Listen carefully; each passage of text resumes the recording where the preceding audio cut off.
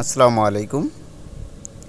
Welcome to my YouTube channel আমরা প্রয়োজনে বিভিন্ন ধরনের অ্যাপস মোবাইলে ইনস্টল করে থাকি।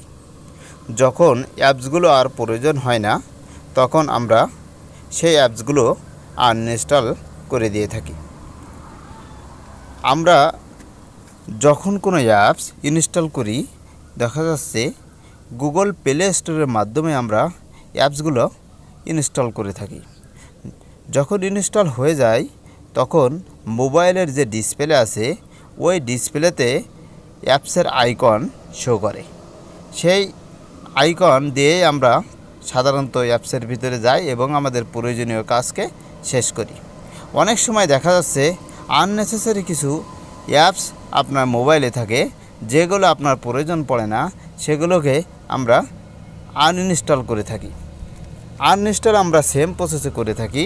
অ্যাপসের ওপরে দেখা যাচ্ছে চাপ দিয়ে ধরে আমরা আনইনস্টল করে থাকি বা সেটিংয়ে আমরা যে অনেক সময় আনইনস্টল করে থাকি।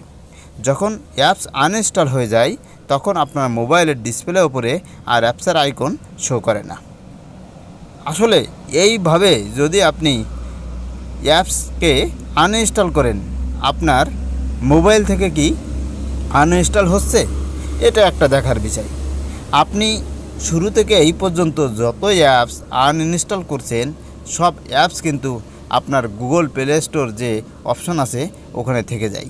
আপনি যদি সেই গুগল প্লে স্টোর থেকে অ্যাপসগুলো আনইনস্টল না করেন, তাহলে যে অ্যাপসগুলো আপনি আনইনস্টল করেছেন এবং যে অ্যাপসের আইকন আপনার ডিসপ্লেতে শো করছে না, ওই অ্যাপসের জন্য ইনস্টল করার পরে যে জায়গা দখল করেছিল, এখনও কিন্তু সে জায়গা দখল করে আছে।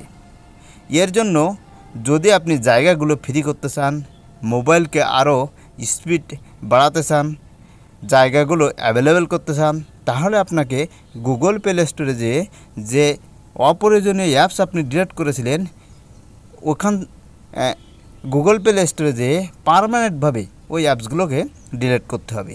এর জন্য যে সেটিংটা আপনাদেরকে করতে হবে সেটি আজ আমি আপনাদেরকে দেখিয়ে দেব। এর জন্য যে কাজটি করতে হবে সেটি হলো আপনার মোবাইলের যে প্লে স্টোর আছে প্লে স্টোর অ্যাপসের যে আইকন, এই আইকনের ওপরে ক্লিক করতে হবে। যখন আপনি আইকনে ক্লিক করবেন, আপনার সামনে এমন একটা ইন্টারফেস চলে আসবে। এখান থেকে আপনার যে অ্যাকাউন্ট ফটো থাকবে, সেই ফটোর ওপরে ক্লিক করতে হবে।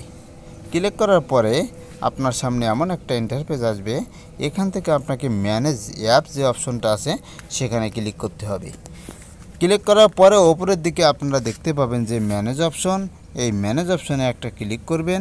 ক্লিক করার পরে এখানে ইনস্টলের যে অপশনটা আছে, এই অ্যাপসগুলো ডিসপ্লেতে দেখতে পাচ্ছেন, এগুলো আপনার মোবাইলে ইনস্টল করা আছে। যে অ্যাপসগুলো আপনি অনেক আগে ডিলিট করেছিলেন, সেটা দেখার জন্য এই আইকনে ক্লিক করতে হবে। নিচের দিকে যে ইন্টারফেসটা আছে, এখানে দেখতে পাচ্ছেন নন ইনস্টল অ্যাপস এখানে ক্লিক করতে হবে। এখন যে অ্যাপসগুলো এখানে চলে আসছে এই অ্যাপসগুলো কিন্তু আপনার মোবাইলেই থেকে আপনি আনইনস্টল করেছিলেন, কিন্তু আনইনস্টল হয় নাই। এগুলো ডিলিট করার জন্য আপনাকে যে কাজটা করতে হবে, আপনি এই অপশানে ক্লিক করবেন। ক্লিক করার পরে আপনি ওপরের দিকে দেখতে পাবেন একটা, একটি কোড়ার চিহ্ন। কোড়ার চিহ্নের ওপরে ক্লিক করলে এখানে রিমুভ অপশন চলে আসবে।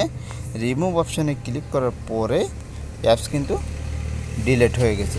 পারমানেন্টভাবে এভাবে আপনার অপ্রয়োজনীয় অ্যাপসগুলোকে ডিলিট করতে পারবেন। আশা করি এই সেটিংটা দেখার পরে কিছুটা হলেও আপনাদের উপকারে আসবে। থ্যাংক ইউ অল আল্লাহ হাফেজ।